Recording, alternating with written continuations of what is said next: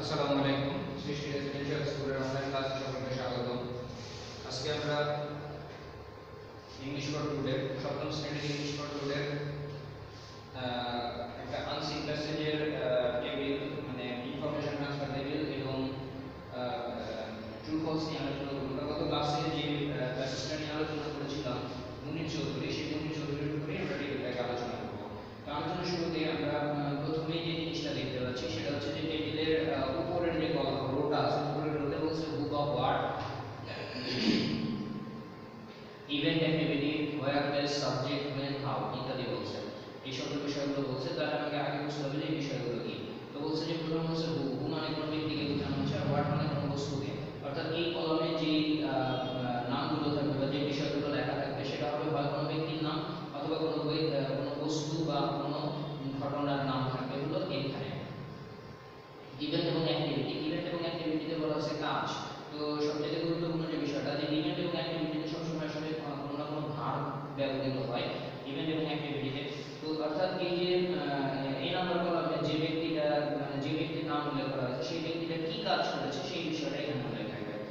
হচ্ছে war place মানে যেখানে জায়গার নাম থাকবে অর্থাৎ এই যে ঘটনাটা ইভেন্ট এবং অ্যাক্টিভিটিতে যে ঘটনাটা ঘটলো বা যে কাজটা করল সেই কাজটা কোথায় হয়েছিল সেইটাই হচ্ছে ওয়ার অফ প্লেস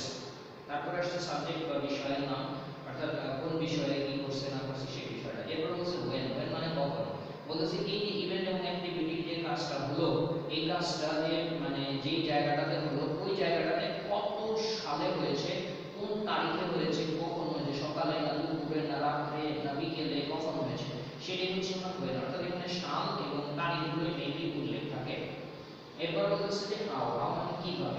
অর্থাৎ এই যে কাজটা হয়েছিল, সেই কাজটা কীভাবে ঘটেছিল সেটাই হচ্ছে এখানে বলছে।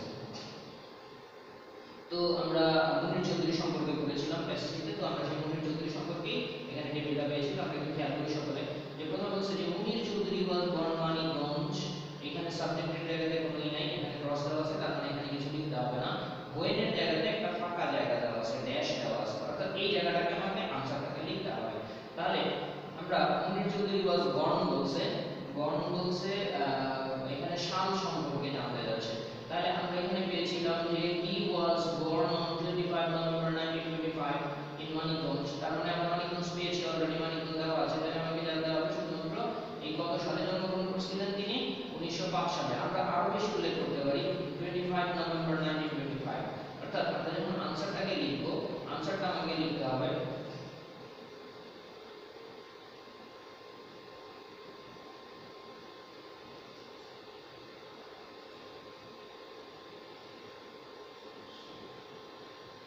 आमच्या कारणा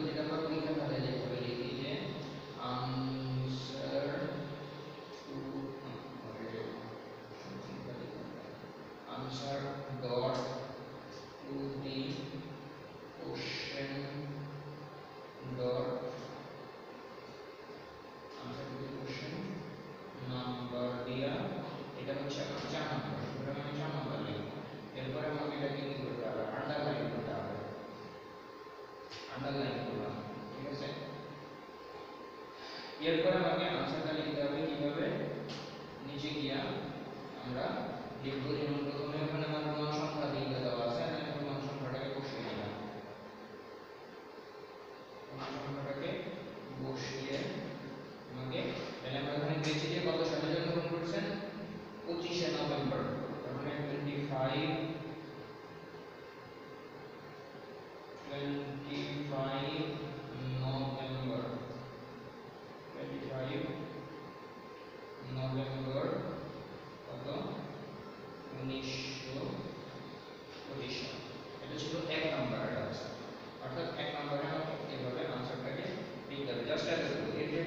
particle is better coil 9 the number he dash ba he dash ba from dash 1946 তার মানে 1946 সালে তিনি বিএ কি করেছিলেন তো বলতেছে যে he completed BA honours in 1946 MA in 1947 in English from Dhaka University তাহলে বলতেছে যে he completed BA honours he completed BA honors তাহলে তিনি এই যে বিএ ফ্রম বিএ তিনি কি করেছিলেন? কমপ্লিট করেছিলেন, শেষ করেছিলেন। তাহলে আমার দুই নম্বরের আনসার হবে completed C O M L E T E D এখানে বলছে স্থানের নাম, জায়গার নাম বলছে। কোন জায়গা থেকে তিনি বিএ করেছিলেন? আমরা আনসার পেয়েছি ঢাকা ইউনিভার্সিটি তার মানে আমার সি নম্বরের আনসার হবে, তিনের আনসার হবে তো ঢাকা ইউনিভার্সিটি ढाका ढाका यूनिवर्सिटी तीन आंसर होगा हमारा ढाका यूनिवर्सिटी 1946 ইন্ডিয়া বছরের 1946 সালে এরপর বলতেছে he receive MA degree Dhaka University in dash অর্থাৎ কত সালে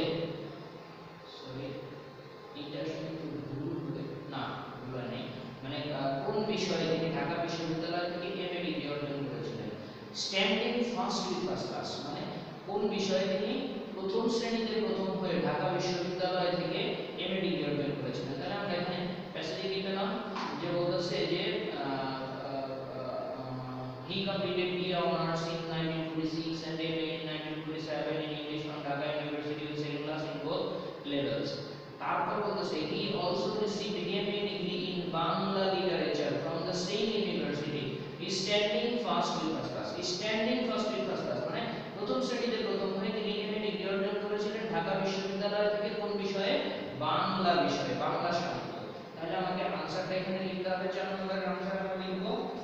বাংলা সাহিত্য, অর্থাৎ বাংলা লিটারেচার বাংলা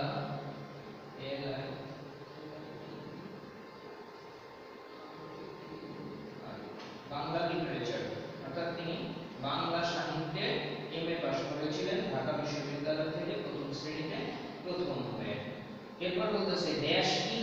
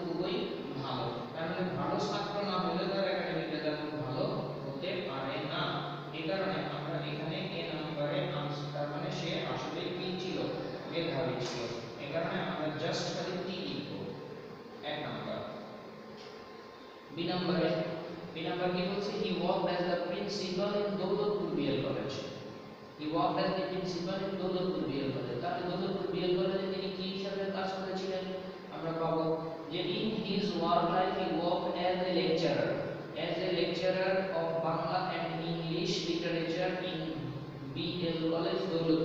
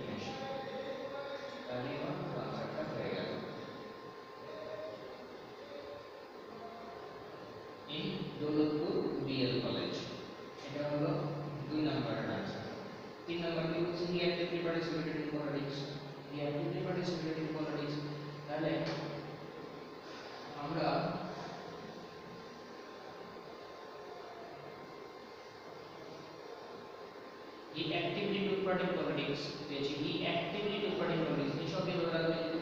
জড়িত ছিলেন তারা যারা রাজনীতিতে নিয়ে অংশগ্রহণ করেছিলেন তাহলে আমার আনসারটা সঠিক হলো বা ট্রু হলো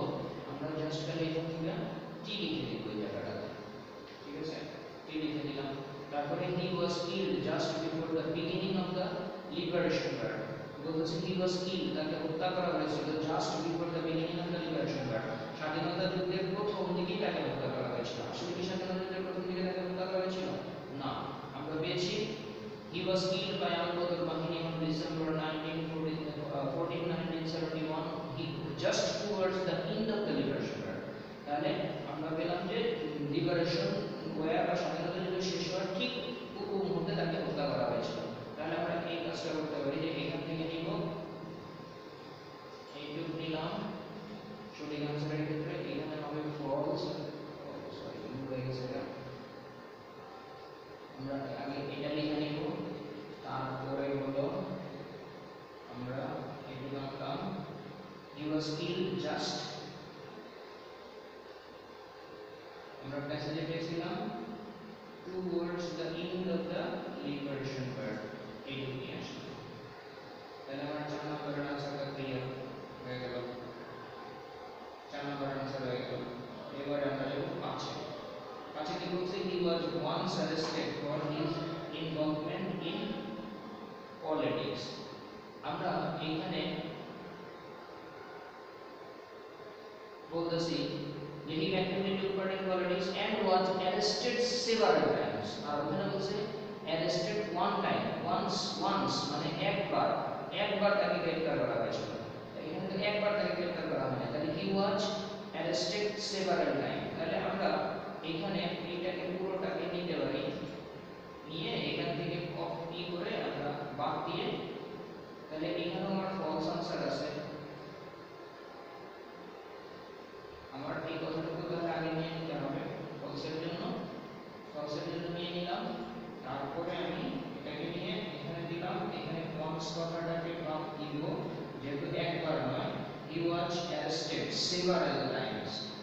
তো এখানে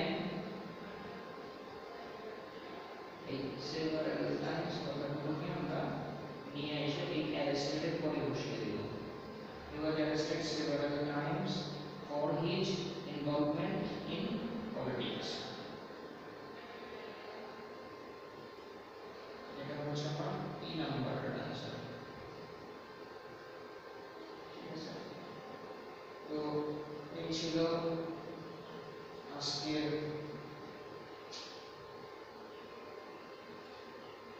যে আমরা গত ক্লাসে যে প্যাসেজটা করেছিলাম, সেই প্যাসেজের ট্রু ফলস এবং ম্যাজিকলিটি কীভাবে ইনফরমেশন ট্রান্সফার টেকনিক কীভাবে কীভাবে আনসারটাকে লিখব সেই বিষয়টা। তোমরা বাসায় সবাই এটাকে চর্চা করবে। আজকে এই পর্যন্তই। ধন্যবাদ সবাইকে। ভালো থাকো।